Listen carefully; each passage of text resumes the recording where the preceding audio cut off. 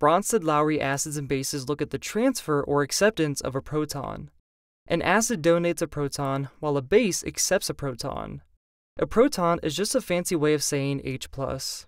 Here's an example of an acid-base reaction. We have our acid, which carries the acidic proton, and we have our base, which can carry a negative charge or be neutral with lone pairs. You'll also notice these are equilibrium arrows. That means the reaction can go in the forward or reverse direction. After the reaction, we form a conjugate base and a conjugate acid. The conjugate base is what remains from the original acid. The conjugate acid is the original base plus a hydrogen.